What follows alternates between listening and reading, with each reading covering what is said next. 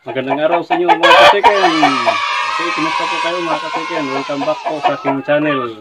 Pero kung bago ka pa lang po dito sa channel, huwag po kalimutang mag-subscribe at, mag-like na lang po sa video na ito. Okay mga kasikin, ngayon po sa video na ito, ah, mag-update po tayo sa ginawa natin na probiotic.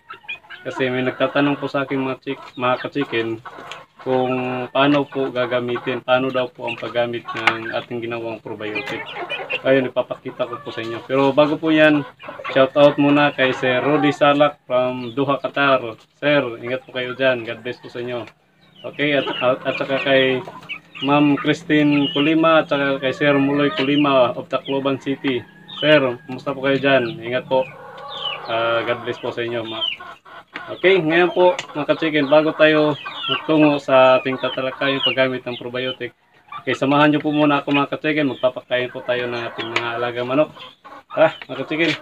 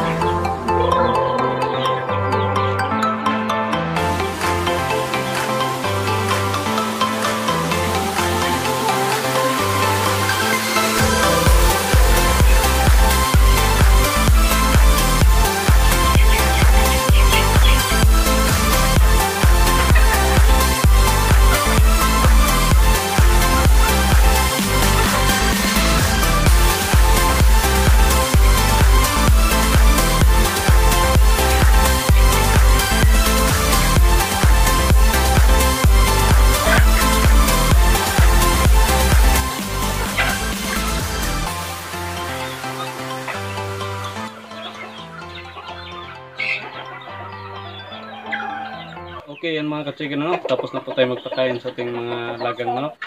Okay, ngayon po, ito na po yung ginawa natin na probiotics na sa mga nakaraan nating na video. O para pa mga hindi pa nakapanood sa paggawa natin kung paano gumawa ng probiotic.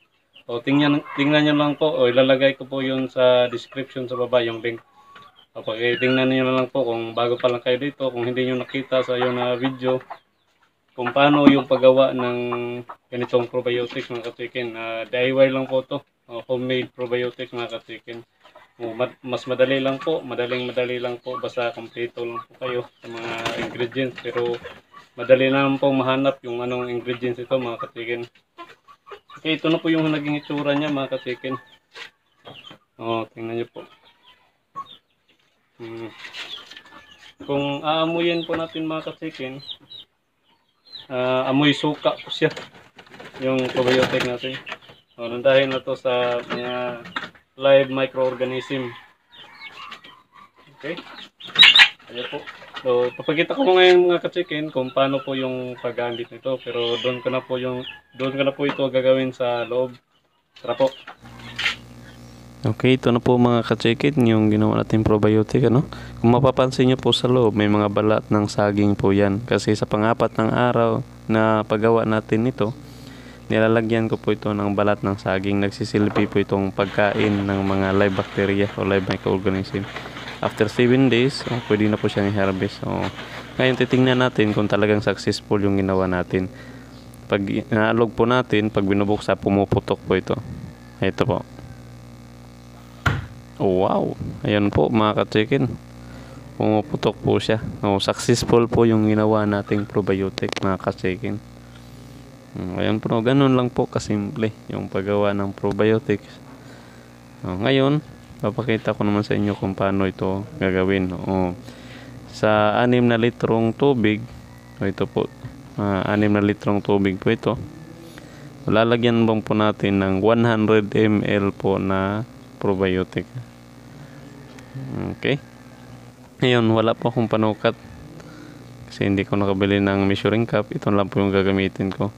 Ito po ay naglalaman po ng 200 ml. So, bali kalahati po nito. Ito po, kalahati po nito. Yung lalagyan natin ng probiotic. Ah, sumusukat siya ng 100 ml. Yun po yung ilalagay natin sa 6 liters na tubig.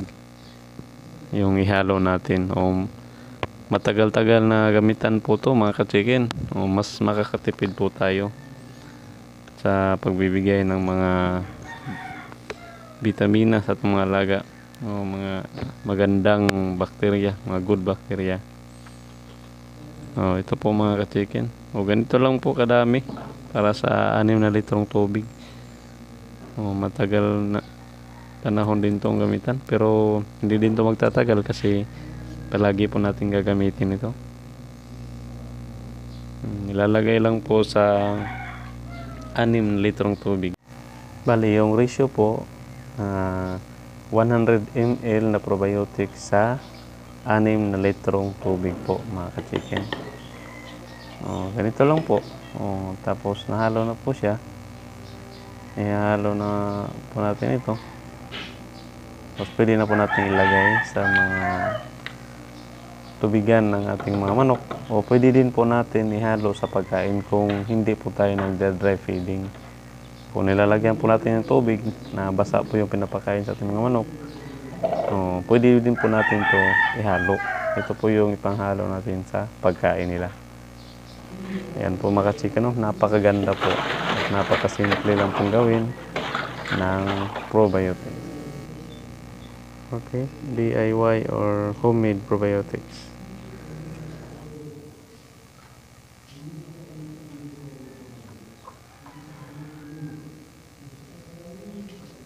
Okay, ngayon mga ka-chicken, oh, ilalagay na po natin sa lagayan ng tubig o sa mga waterer ng ating mga manok.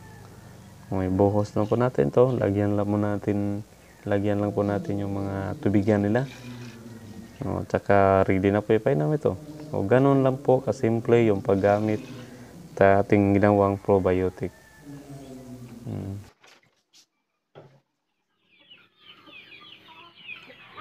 Ito, ibibigay na po natin doon sa lagayan sa kainuman nating mga manok. Ganun lang po kasimple mga kachikin yung paggawa natin o paggamit natin sa ating ginawang probiotic. Okay, lagay natin sa mga kulungan, kainuman nila. O dito po mga chicken, itong mga nakakulong po dito, ito po yung may mga sakit na mga manok po o yung mga napilayan o dito ko po siniseparate ko po sila. Okay, ayan po mga ka-chicken, ano? Napakasimple lang po kung paano paggamit ng ating probiotics at saka kung paano din po gawin ito. Okay. At sa pam- sa pamamagitan po nito mga makaka- mas makakatipid po tayo sa binibigay natin o sa mga bibili nating commercial na vitamina sa mga agri-vet supply, mas makakatipid po tayo. O, at saka mas makai- makakaiwas po sa mga sakit yung ating mga alagang manok, mga alagang hayop. O, pero hindi ko po sinasabi na 100% hindi na po magkakasakit ng ating mga manok, mga alaga kung nabibigyan po natin sila ng probiotics. Okay? Ito po ay dagdagang prevention lamang po o, sa kanila. O, at, at mas mataas po yung tsansa na hindi sila mas madaling magkasakit kung nabibigyan po natin sila ng probiotics, lalo-lalo na kung simula sa pagkasisiw pa lang po nila, mga katigen. O ayan po no, maraming salamat po mga katigen sa iyong panonood. Okay, sa mga sumusuporta dyan, maraming salamat po sa inyo. Okay, o, at kung hindi, ka po, hindi pa po kayo nakapag-subscribe sa aking channel, o paki-subscribe na lang po at kung nagustuhan niyo po yung video nito, paki-like na lang po at saka paki-share na lang po. O, po, maraming salamat po sa inyo, magandang araw po sa inyo. God bless po, stay safe po kayo dyan.